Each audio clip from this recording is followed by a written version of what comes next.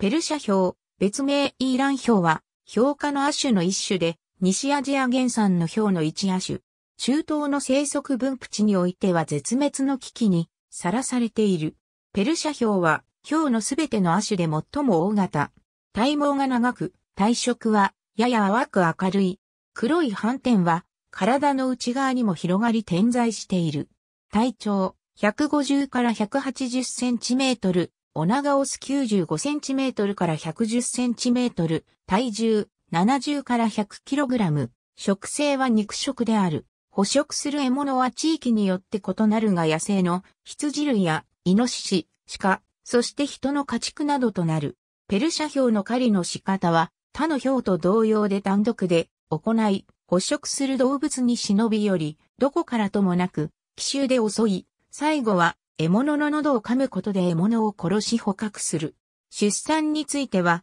3から4ヶ月の妊娠期間を経て、通常3匹の子を1回で出産する。メスは2歳半くらいで性的な成熟期となる。インダンチャード、トルクメニスタン、ズベキスタン、タジキスタン、アフガニスタン、イラン、アルメニア、南カフカス地方、アゼルバイジャン、南カフカス地方、ジョージア、アルメニアにおいては、アルプスの山麓付近の草原に生息しており、またこの地は、起伏に富んでいる崖や岩場も多くあるため、ペルシャ氷の活動のコースは、ある程度、一定のコースとなることから研究者にとっては、氷の生息活動を見つけるのには、都合が良い。アルメニアでは、昔から氷と人とが共存しており、20世紀中頃までは、山で、比較的簡単に発見されていた。1950から1970年代には、氷の生息個体数は北部の地域において増えていた傾向があったが、近年は密漁などにより、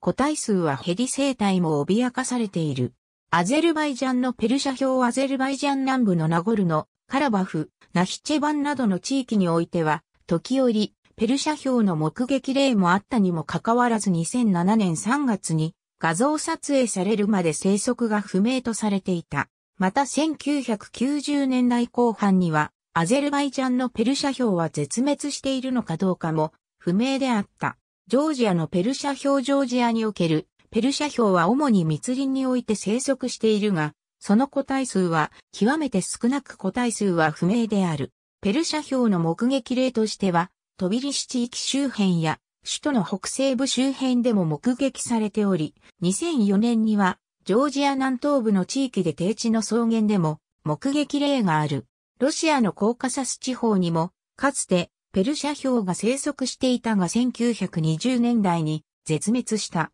2009年、ロシアのプーチン首相自らペルシャヒョウの復活プロジェクトに乗り出し、トルクメニスタンから送られた2匹のオスを野生に放った。引き続きイランなどにも個体入手への協力を依頼しているという。カフカス地方には別亜種のコーカサスヒョウが生息する。東山動物園のペルシャヒョウ世界72の動物園で154頭、日本国内では3円で飼育されており、近親交配を避けることを念頭に、すべての飼育個体に国際血統登録をして、種の保存が行われている。ロシア首相、ヒョウ復活にイランへ協力要請。EN、パージアンレオパードを翻訳。ありがとうございます。